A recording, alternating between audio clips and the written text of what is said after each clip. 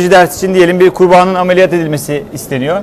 Bunu tahta üzerinde parmaklarımızı kullanarak bu deney imkanını bulamasak da rahatlıkla gerçekleştirebiliriz sanal olarak.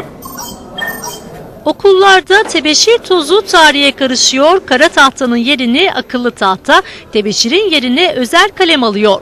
Projenin adı Fatih. Akıllı tahta uygulamasına henüz geçmeyen okullardaki öğrenciler bu ileri teknoloji ürünü tahtayı sabırsızlıkla bekliyor. İstanbul'da akıllı tahtayı merak eden Avcılar Meslek Lisesi öğrencileri bir eğitim fuarının yolunu tuttu. Tahta ekranını kullanarak üzerine müdahale ederek Akıllı tahtadaki ilk derslerini de fuarda yaptılar. İlk sorumuz bahar ekinoksu 21 Mart'tadır. Evet mi? Hayır mı? Bununla alakalı evet hayır düğmelerinden birine dokunuyoruz, tuşluyoruz ve e, cevabımızı geliyoruz, onaylıyoruz.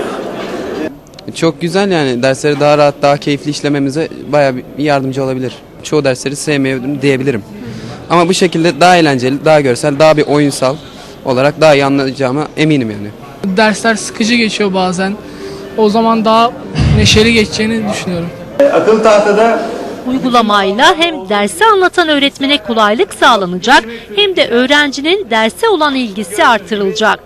tahtada kullanabilirim. Dijital ortamda kaydedilen tüm dersler evde tekrar etmek isteyen öğrencilere e-postayla da gönderilebilecek.